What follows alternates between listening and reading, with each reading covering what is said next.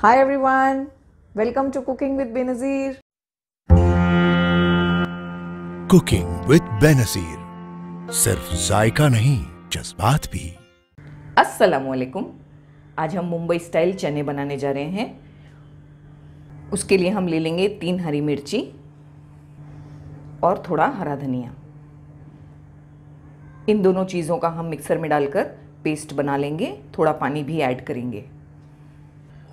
हमने एक कप चने ले लिए हैं। चनों को हमने सात से आठ घंटे तक भिगाया था और बाद में इसे बॉईल कर लिया है नमक डालकर। हमने दो छोटे साइज़ के आलू ले लिए हैं। इन्हें हमने बॉईल कर लिया है।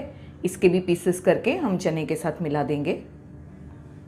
हमें इन आलूओं के छोटे छोटे पीसेस करके चने के साथ मिलाकर तैयार रखना है।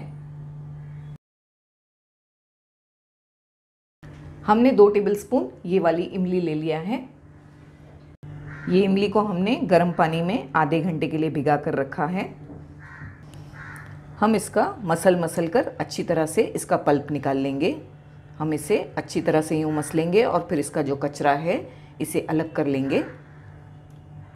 हमने इमली का पल्प निकाल के अलग कर लिया है और ये जो इसमें कचरा रह गया है, ये हमें अभी नहीं चाहिए। एक पैन में हमने तीन टेबलस्पून ऑयल गरम करने के लिए रख दिया है। उसमें हम आठ से दस कड़ी पत्ते डालेंगे। हम इसमें अब एक छोटी प्याज डालेंगे, बिल्कुल बारीक चॉप करके। फ्लेम को हाई करके हमें प्याज को गोल्डन होने तक पका लेना है। प्याज का कलर गोल्डन हो चुका है। हम इसमें एक टेबलस्पून अदरक लहसुन का पेस्ट डाल रहे हैं। फ्लेम को लो करके हम आधी मिनट तक इसे भून लेंगे। आधी मिनट के बाद हम इसमें one and half tablespoon बेसन ऐड करेंगे, चने का आटा। फ्लेम को लो रख के हम इसे भून लेंगे अच्छी तरह से एक मिनट के लिए। एक मिनट तक हमने लो फ्लेम पर अच्छी तरह से बेसन को भून लिया है। बहुत अच्छी बेसन की खुशबू आ रही है। हम इसमें आधा कप पानी डाल देंगे। फ्लेम को अभी हाई नहीं करना है।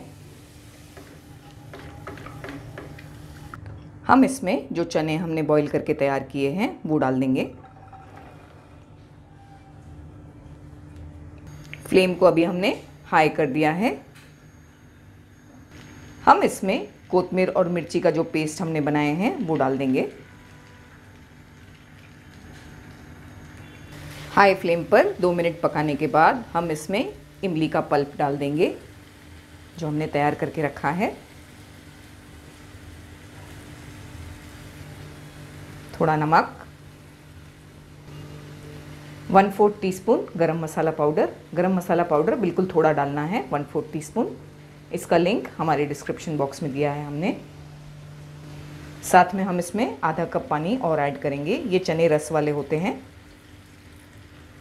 तमाम चीज़ों को अच्छी तरह से मिला लेंगे। फ्लेम को भी हमने हाई ही रखा है। जब ये अच्छी तरह से बॉईल होने लगेगा, हम फ्लेम को लो कर देंगे। और इसे कवर करके बस तीन से चार मिनट पकाएँगे। ज़्यादा नहीं पकाएँगे, वरना इमली के साथ अगर हम ज़्यादा पकाएँगे चने को तो वो कड़क भी हो सकते हैं। इसीलिए हम बस तीन से चार मिनट इसे पकाएँगे। तीन मिनट हो चुके हैं। चने बिल्कुल परफेक्ट तरीके से पक गए हैं। ग्रेवी भी बिल्कुल परफेक्ट है। बस आपको ऐसी ग्रेवी की कंसिस्टेंसी बनानी है, क्योंकि ये थोड़ी देर के बाद और थोड़ा गाढ़ा हो जाएगा। ये परफेक्ट कंसिस्टेंसी है। हम फ्लेम को बंद कर रहे हैं। हम इसे हरा धनिया और तली हुई प्याज के साथ सर्व करेंगे।